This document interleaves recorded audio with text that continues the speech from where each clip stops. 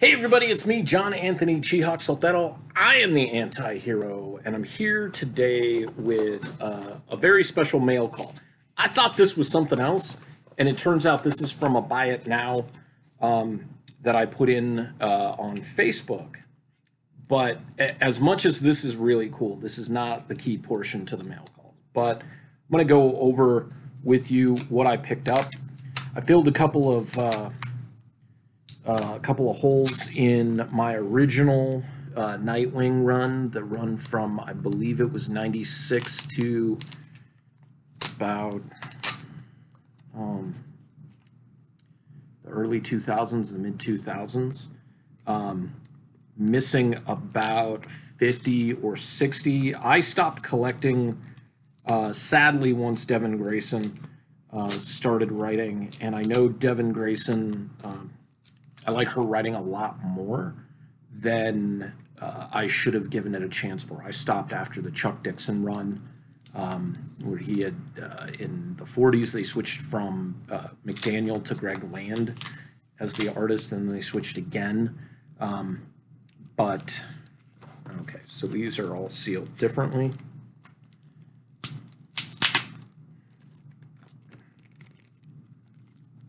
Okay. So this was a, a two dollar buy it now.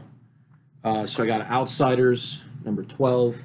This is also the uh, the early two thousands Outsiders run with Nightwing as the co-leader along with Arsenal. Got seventy six Nightwing seventy six. 77 kind of looks familiar as to the cover of uh, issue 7 of Euthanasia, although for mine there was a lot more emphasis on butt. Uh, 78, this is a great cover as well. I got uh, G.I. Joe number 3, Zartan cover. I believe that's that's a Campbell cover too, so um, this is the second sortie.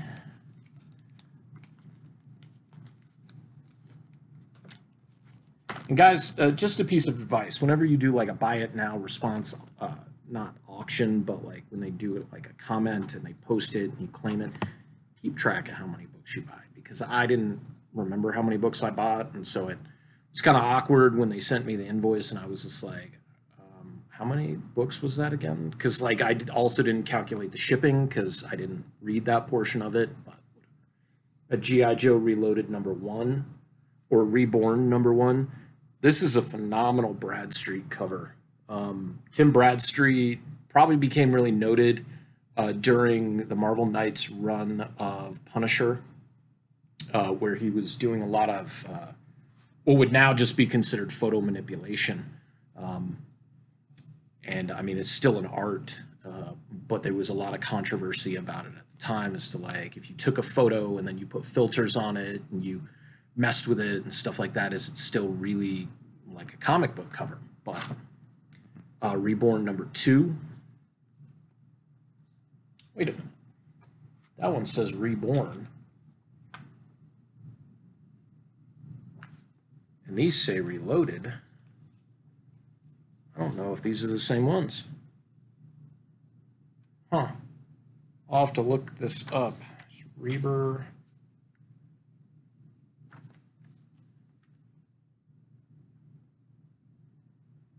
Yeah, it's the same artist, writer. So I'm wondering if they started it out as Reborn, or maybe it was GI Joe Reloaded, and since this was issue number one, they called it, they titled it Reborn, and then three, four, and five, or two, three, and four um, were Reloaded. That's a little disappointing. This one's chewed up on the corner. Well, two bucks, you kind of can't go wrong. And then Nightwing 117. This is a this is near the end of the run. Yeah, Devin Grayson was still writing it. I think this is Parks on the cover. I'm not sure. Back this at this point in time, I don't think DC was. Yeah, DC was not um, crediting the covers in the uh, credits at this point in time. nowadays with uh, DC, which which I really like and I really respect because I believe you should get credit for it. Um, the like variant cover artists, unless I believe, unless it's a ratio variant, like if it's an AB 50 50 variant, they will credit the artist. Um, so, like a lot of the Artgerm B covers, you know, he gets credit. Um, but if it's a ratio variant, I think because you have to buy so many, it's not just widely available on the shelf. But it's awesome that DC is doing that. Maybe Marvel is doing it as well. I don't pay as close attention to Marvel as I do DC, but you know, there's a reason for that, even though I'm wearing a Marvel beanie right now. So this, this is the meat of the mail call. So there was a gentleman that I met um, a couple weeks back when we did a, a day event at Harley's Toys and Comics here in town and there he lives up in Colorado. He runs a graphic uh, t-shirt design business where he does heat transfers onto t-shirts. And saw some of my work, and we talked a little bit. He picked up my book. Um, I uh, I uh, submitted some designs to him. So like here we go. I submitted these designs on Wednesday night, right? Wednesday night. And I mean, this is just for the test run. They overnighted me the designs, and there's two of them. They're going to be going on pre order really soon. I got prices to be able to know what I have to charge in order to get them shipped and get them here and get them, you know, at somewhat of a profit for myself. But these are the two designs that I came up with. All right. So let me do this one first because this one is the cover and I love when you do covers for comic books on t shirts. So this is the cover to issue three of the Bubba Patrol. It is the Super Duper Cypress. And it is the ASM 300 homage. And it's got the indicia, it's got the price, it's got the rating, it's got the title, it's got my name on it, so there's no question as to who did this. I'm super stoked about this. These colors came out great. The video does not do this justice, trust me, because I've taken pictures and I've sent them. These colors are super awesome. They're super vibrant. It looks like it's the digital image of the page. So I'm super excited about how this turned out. And then this one is, uh, there's a lot of people who've been wanting an Agnew shirt. And so This is the one I did that's also going to be a sticker, a die cut sticker. Um, and it's a piece that I had been working on for a while. Um, I'd actually worked on it to be a sticker with the first, uh, when I was first working on issue three of the Bubba Patrol, and then lost all the files. I still had this as a penciled JPEG um, that was done digitally. So what did I do? I grabbed the JPEG because it was like on Facebook or something like that, and then I just started. I traced it over in Clip Studio, and then colored it and got it ready to go. And so, Agnew is coined as the world's greatest sidekick, and he is. So we had to do an Agnew T-shirt. Um, so I'll be uh, doing some pre-orders for these. They'll be starting at 25 bucks plus shipping if you're out of city or if you're in city and you still you know want it shipped to you versus uh, picked up by hand. Um, starting at 25 bucks. If it goes up to double X, it's going to be 30. Um, but shipping for up to two shirts is going to be just five bucks. We should be able to ship that, um, you know, first class without any issues and get it to you without any problem. Um, so those will be there right now. The images are on the non-con page. The images are on the uh, Bubba Patrol page, the Anti-Hero Verse page. They're going to be all over the place. Instagram. Um, tomorrow night during non-con, I will be wearing the shirts or at least displaying them so that people get an idea of what's going on. Also, um, I'm asking as many of you as possible to share this video and and tune in to non-con tomorrow, 7 p.m. Arizona time or Pacific time right now.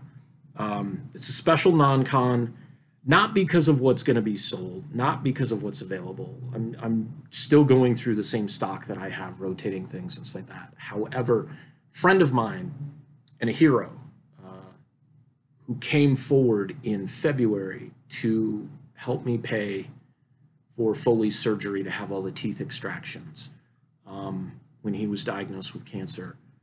Um, her cat, Tuna, is very sick and she has depleted her savings getting him medical attention and he's still he's getting a blood transfusion and he still has a lot of things that that need to be done. And i believe in doing everything that can be done um, for our animals because they're not just animals they're not just pets they're part of the family.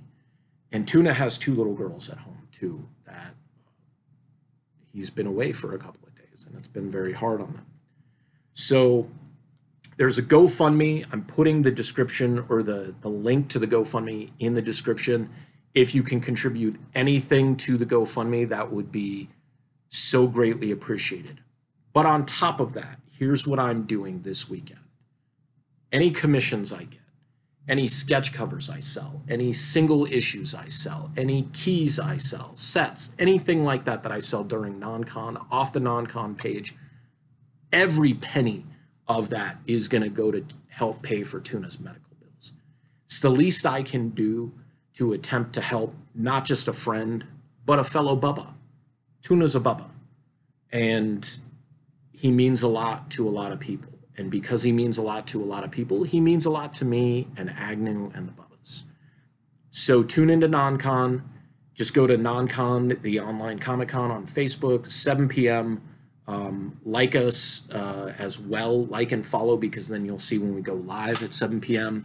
Uh, it'll also help with invites and you know kind of boost the videos and stuff like that. You never know, there might be some books there that you see that you like, or if you want to get a commission or see a sketch cover or something like that.